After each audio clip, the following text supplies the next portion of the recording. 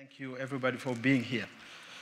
So, the society we live in today relies increasingly on large scale complex systems on which we depend to communicate, to produce, transport, and deliver energy, to move people and goods from one place to another, to do business online or offline, but also to entertain and stay in touch. Each of these systems is a set of, a set of large number of systems that interact in a complex way to meet the most basic user needs, such as sending an email. These systems are also interconnected and interdependent, and together they have brought endless uh, opportunities that we, uh, uh, that we witness every day. Unfortunately, however, these systems have brought many risks to our society and have made us more than ever vulnerable to accidental failures, but also to malicious attack.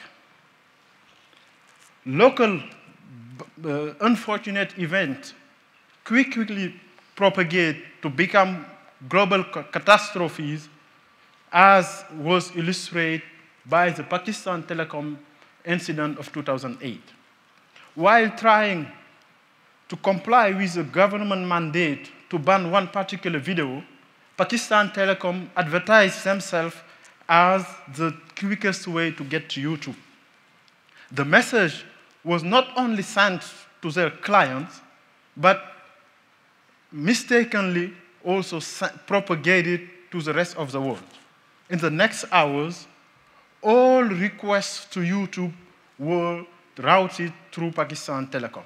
And it takes hours of work and the complete disconnection of Pakistan Telecom from the internet to bring the situation back to normal. So bad events propagate from one system to another. But one system can also be used as stepping stone to attack another system or even make an attack more devastating. We witnessed this in December of 2015 when malicious people used the, uh, the internet to infiltrate the Ukrainian uh, power system. They then not, not only cause an outage, but to prevent people from reporting it, they overwhelm the phone network by launching a denial of service attack. As a consequence, more than 80,000 people were left without electricity in a cold day of December. So these examples and many others have revealed that despite the criticality of these systems to our society, our fundamental understanding of their behavior is quite primitive. Today, there is no science that gives the knowledge necessary to predict the global behavior of these systems. And sometimes the basic assumption we make about this, this system are just wrong. Today, we still think of these systems as separated. They are managed and operated by independent entities with often misaligned interests and sometimes conflicting ones. And although each independent entity is trying to build the most secure subcomponent based on local information and local business goal, the global system is even weaker than its weakest link. This is the case because complex interaction will lead to uh, new vulnerabilities that emerge at the global level that none of the component systems possess. Moreover, critical decisions still involve users like me, who not only are error prone, but often make suboptimal decisions. The mathematical models that we dispose today are just not uh, suitable for this kind of uh, situation. So with the lack of necessary knowledge, we fall back to patching. And this has put us in an endless race where the bad guys are always trying to find the next vulnerability to exploit, and we follow slowly by applying a patch. This is not this is just not the right way to go when the existence of our modern society is at stake. So at the time where we are to enter a new area of the Internet of Things, I think that we need to step back. We need to step back and think of this system in a more fundamental way by using first principle to guide our insight about their performance, their resilience, and their ability to, survive, to survive uh, failures and also attacks. And I believe that it's not too late, especially for Africa. Early mathematical models have already informed us about which connection pattern is robust against attack and which one is robust against propagation of bad events. And we have tested this uh, principle on the African network to unfortunately discover that the African network is actually just three nodes away from collapse. Our models have also revealed that due to misaligned and conflicting interests, we are even more vulnerable than we think we are. I like to call this the cost of incoordination.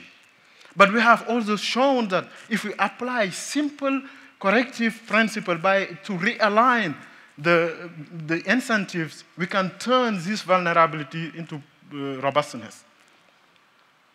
To take it further, the goal of my research is to develop the theory, models, and algorithms that will enable us to build not a set of independent systems that barely talk to each other, but a, set, a, federation, a federation of systems in which the power of unity, communication, and collaboration is used at its full length.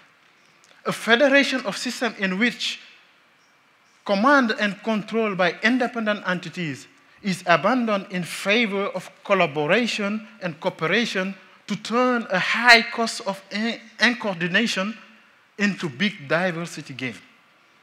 With the model we are looking at, we will be able to develop systems with the embedded intelligence necessary to detect at early uh, stage the propagation of bad events. And we will take timely and appropriate remediation action.